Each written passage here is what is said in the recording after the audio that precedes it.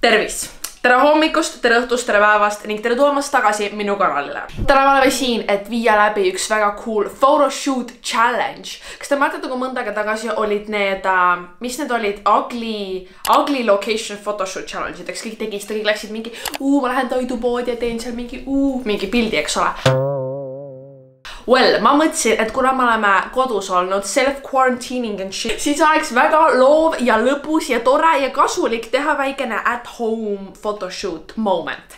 ja ma võtsin kokku kuus ideed, nendest vist neli on Tiktokist, eks ole, shout out Barbara ja Laurale, kes nagu they keep me young on ju.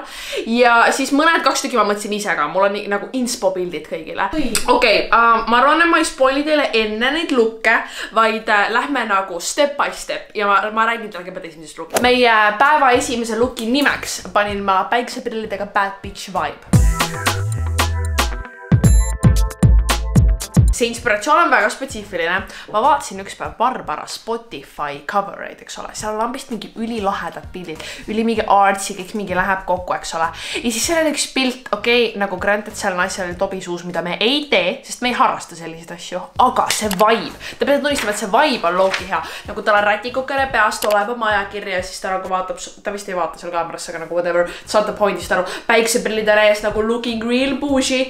Well, ma tahtsin sedasama asja teha, sest meil on nüüd rannatoolid on terrassi peal, me oleme seal pikutamas käinud, eks ole. Läheb nagu väga hästi kokku ja ma nagu ei, see on üks nendest pildidest, mida ma for real, ma väga loodan, et see tuleb välja, sest ma olen täiega kaua tahtnud seda teha. isegi kui mul on make näos, siis ma mõtlesin, et see ongi siuke bougie nagu, ma näen välja nagu ma tuleks just duši alt, aga tegelikult mul on hoopis make näos vibe Lookiks ma mõtlesin, et need ruudulised püksid on vibe, kas sa mind ei nõustu? kelle omad? Laura omad, ma ostsin talt need, aga ma ei maksnud kunagi. ja siis ma mõtlesin, et okei okay,, et nagu see top, et see pole saanud piisavalt nagu, piisavalt oma aega Instagramis, nüüd on üks probleem um,. kas te näete seda? mis on pildil oh. valesti? aga mis on valesti? oota uh., oh my god. see on nagu vaata välja veninud, nagu ma tahaks, et ta oleks. ei, see on nii äge, et see on välja veninud, see teeb ei, tõmba tagasi ah. vaata, ei, näe. okei okay,, no Laura üritab veenda mind, et kui on ülevalt lai ja alt lai, et siis su keskkoht näeb väiksem välja. see on loogiline. aga kui ma selle ostsin, siis see dressikas pidi olema nagu ma tahtsin, et ta oleks nagu nagu nii nagu rast crop dressikas. samas ma tegelikult ma arvan, et kui ma selle tooli peal pikutan, siis pole vist näha niikuinii. eerte koha pealt me mõtleme, okei okay,, need päikseprillid on niikuinii, eks.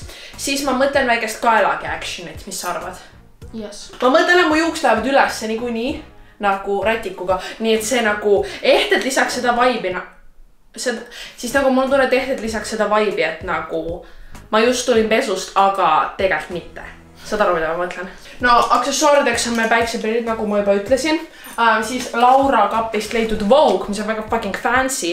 ja ma juba ütlesin Laurale, et ma ei saa aru, miks meil seda meie vetsus pole. sest ma oleks eriti puus ja ma rea-, nagu bitch, ma võtsin suvakalehe lahti ja see näeb nii lahe välja nagu. okei okay,, need on meie aksessuaarid uh,. nüüd lähme võtame altkorruselt vist rätikut on vaja veel onju ja siis lähme õue. no mis rätiku vaale ka või? Uh, ma ei tea, lähme vaatame. oh, siis oleks ka haige mingi selle pildi vaata oh,. siukse. aga see taust ei ole hea okei okay.. oota, nüüd me läheme õue kohe või? ei, ma korraks panen asjad toetajaks siia oh,. või ma tunnen, kuidas mu nina vajab touch up imist, Laura. no it's fine. Facetune.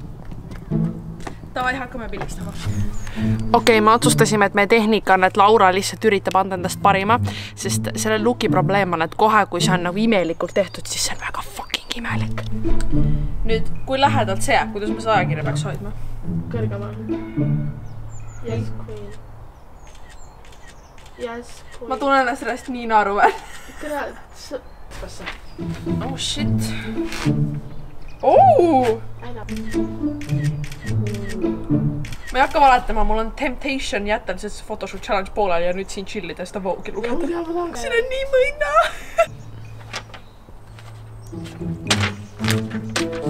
oh wow. I know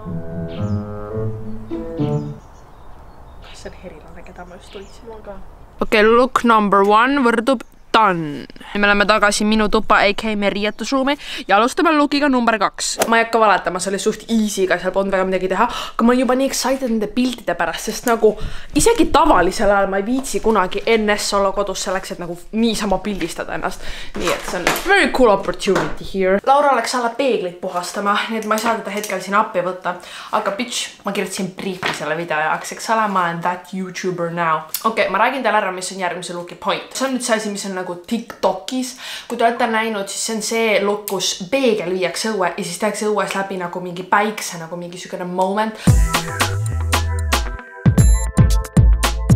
Just olete seda vlogi näinud, kus ma sellest rääkisin, aga ma ostsin Humanast siukse topi. siuke roosa nagu pluusikene, ta nagu tegelikult on siuke lühike, aga ta näeb ilus välja, kui ta siduda nagu kroptiks, kroptiks hmm.. ma olen täiega excited juba. ma ei saa aru, kuidas ma varem selle peale ei tundnud, et see on nii fun activity, mida teha. nagu see juust asi võtab üldse kaua aega, need pildid on nii lahedad, nagu kuidas ma alles nüüd tulen selle peale, bitch. praegu võib-olla täiega, te vaatate alati mingi Maria what the fuck nagu mul on juuksed taga, ma näen nagu mingi fucking arstiõde välja aga ma luban teile, I am on to something here. ja kes te näete, aga mul on mõned mom jeansid ja siin on see auk ja ma teen jälle seda lifehacki, et ma panen augu kinni selle haaknõelaga ja see on some trendy ass shit, ma luban teile. kumb? see on nagu minimalistlik, samas nagu mul on tunne, et meil on veel ruumi minimalistlikuks, ma väga tahan neid oversized huupe kanda. Nende probleem on see, et ma ei saa neid päriselus mitte kuskil kanda, sest need on lihtsalt liiga suured. Nendega juhtub see, et need lähevad nagu niimoodi, siis ma olen nagu mingi fucking kloun välja. aga ma väga loodan, et Laura on impressed selle look'iga. ma vist otsustasin ümber nende osas, mul on siuke tunne. ei mm, -mm, need väiksed on vibe andke andeks, I got carried away, ma jälle arvasin, et ma saan neid kanda, kuigi tegelikkuses ei. ok, me oleme valmis. To be kinda heavy dog. aa jaa. Excusez-moi. mul on imelik iseennast vaadata. sa pead ukse alla tegema. okei, boss ütle kuhu. siia, tule siia. Imagine, kui ma teeks iga päev oma OOTD-sid hoopis niimoodi. Yeah, the sandals are from Vans. oli, here we go.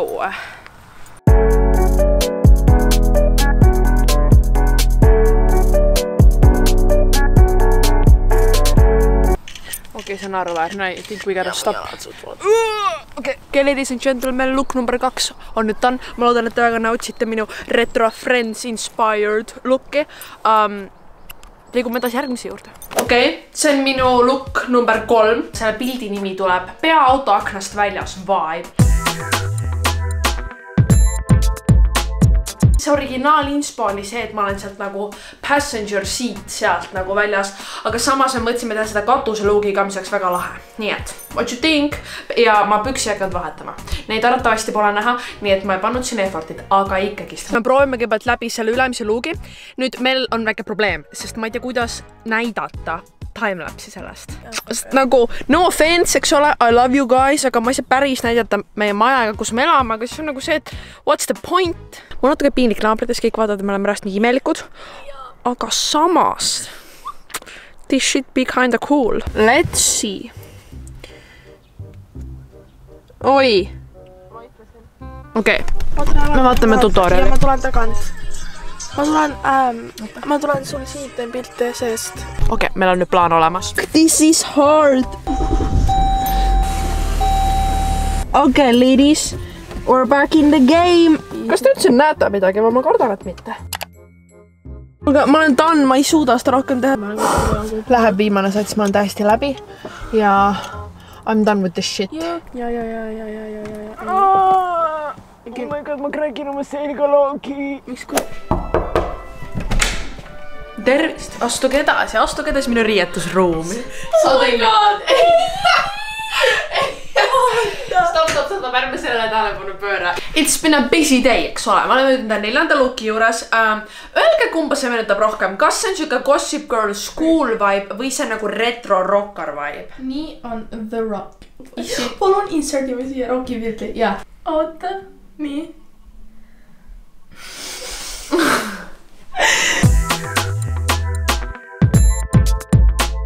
ma mõtlesin, et see on üks nendest lookidest, kus me prollim midagi ägedat nagu kohaks ei leia, aga samas nagu ärge valetage, et te pole tahtnud väike stress up moment'it kodus teha, eks ole. Shout out äh, homegirl Krisule, kes mulle selle seeliku andis, ma ei ole seda jõudnud veel õmbli juurde viia, et seda parajaks teha, nii et olukord on selline. aga keegi ei pea sellest teada saama, sellepärast et otse mind keegi ei näe. kuidas see tundub? See on muidugi hea, et me garaažis seda teeme, davai, lähme otsime hea koha, kus pilditada. ma mõtleks nagu väikse nurgaga, et jääks alt kivi näha, aga mitte seda toru ja võiks ruttu teha, sest mul on suht chill. jaa, okei, davai, tšau. õues tegelikult suht küll. okei okay,, time-lapse time. oh my gosh, mul low-key on väga külm, ma unustasin ära, et õues ei ole kas praegu ma teen altpoolt äkki või? jaa, jah, seal on tall legs.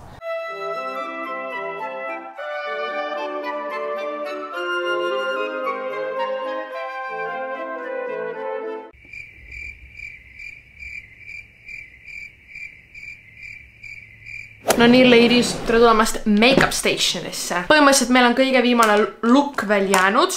ma tahtsin teha tegelikult kahte veel, ma tahtsin teha seda vetsupaberi toru rulli asja ka. ma väga ei viitsi, ma ei hakka valetama. ja ma lihtsalt mõtlesin, et ma liigun Makshoti juurde tagasi. mõtlesin, ma tahaks spice up ida oma meiki ja kuna see on viimane look ka, siis mul on võimalus veits nagu piire kombata. Laura andis mulle just natuke liiga spetsiifilise kirjelduse sellest, milline ma pean välja nägema, kui mind arreteeritakse. nii et ma olen nagu a bit worried. ma kõigepealt võtan seda musta. panen seda veits silma alla, mul on tunne, et see on asi, mida nagu, sellega ei saa valesti minna, eks ole. see on natukene nagu ma hakkaks tsirkusesse minema teate, mida see meenutab, mida ma siin praegu teen või? seda minu ja Barbara fucking Halloweeni videot nüüd ma saan lõpuks enda need aia hiiglaslikud huubid panna. kas peaks panema keti või ei pea?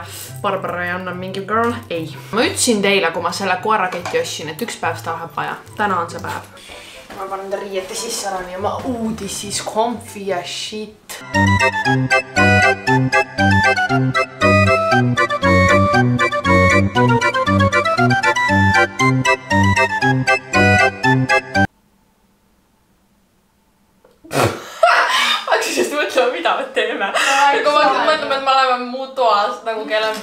Ma võiks rõõmus päevitada ja ma olen siin. ok, ma olen done. väga hea, tšau. ma ei hakka valetama, ma olen suht done. suht done kogu selle videoga täpselt nii. ma olen nii väsinud, et reast mu aju ei tööta enam, nagu mu lihtsalt ei, ühendused ei teki. okei okay,, tere tulemast selle video lõpu viimasesse editing commentary osasse. okei okay,, esimene pilt, mis meil siin on, on minu Vogue'i äh, peaaegu et Vogue'i cover isegi ma ütleksin. üks asi, mida ma teen alati, on, et ma võtan aeg kollase välja, ma ei tea, miks ma lihtsalt vihkan kollast pildi peal nagu kollast alatooni. selle mõtlesime välja, tegime väga grainy momenti nagu grain täiesti lõppu lihtsalt. tegelikult see on vist kõige lihtsama töötlusega pilt, sest siin ma nagu väga ei muutnud mitte midagi. edasi on mu taevapildid, mis fun fact, ma vihkan sinist taevast ka. see on nii imelik, et ma vihkan neid asju, mis tegelikult nagu pildi üliilusaks teevad, aga ma lihtsalt I can't stand it. Vibrant sinise tegin full helesiniseks ja ma tahtsin teha siukest nagu heledat beach'i vibe'i, pluss ma üritan kõiki niikuinii teha heledamaks, et ta mu mingi insta feed'iga match'iks ja nii.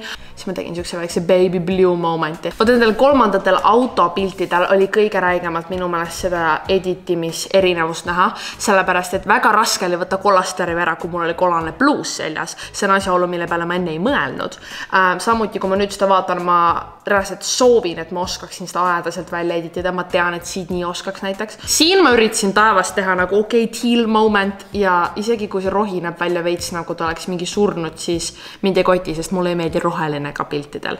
minu neljanda pildi töötluse pealkirjaks panema sihuke crispy kontrastne NS-töötlus. seepärast ma midagi erilist ei teinud, aga samas ma tegin ikkagi siukse nagu, nagu heledaks või nagu mind veits häirib see roheline murunurk selle nagu nüüd, kui ma vaatan, ma oleks võinud paremas location'is teha, aga töötluse koha pealt ma, ma, ma tegin, mis ma suutsin. kõige räigem töötluse pain in the ass oli see kuradi mugshot pilt. ma ei mõelnud seda üldse läbi, see nagu, see on ülinõme, sest sa ei taha teha mingit erilist location'i, sest see on mugshot, see tehakse nagu tavalisel taustal. samas nagu see huulepulk oli nii vibrant või nagu ma näen nagu mingi kloun välja ja siis ma üritasin seda teha nagu tumedaks, mingi spookiks, aga nagu see pilt üksinda on ikkagist nii segadust tekitav. ma ei saaks teda mitte kusagile niisama üles panna, sest kõik oleks mingi Maria, mis sul viga on. ja see pole isegi mingi ilus mugshot mitte nii, et ma ütleks, et kui ma peaks valima ühe faili nendest piltidest, siis see oleks sada protsenti see. ma näen välja nagu mingisugune teismeline tüdruk, kes tahtis minna Halloweeni peole ja siis ta tahtis olla nagu slutty, aga cool, nii et ta pani need suured kõrarõngad ja siis selle pusa, aga siis samas nagu see on Halloween, nii et sa pead nagu veits olema mitte all done up ja siis ta ajas natuke mu huulepulka sassi ja tõmbas laineri alt kriipsu ja that's all. te mõtlete, et kas nii put together video saab endale nii ratchet autoro, siis teil on absoluutselt õigus. ma isegi lõpetasin selle monteerimise päev enne kui see peab üles minema, nii et ma olen nagu kind of proud. aga selle monteerimise arvelt ei jagu mul energiat, et see korralik outro teha ja outrod on overrated niikuinii. nii et ma loodan, et teile meeldis, olge tublid ja näeme teiega juba järgmisel nädalal. Adios, tšau!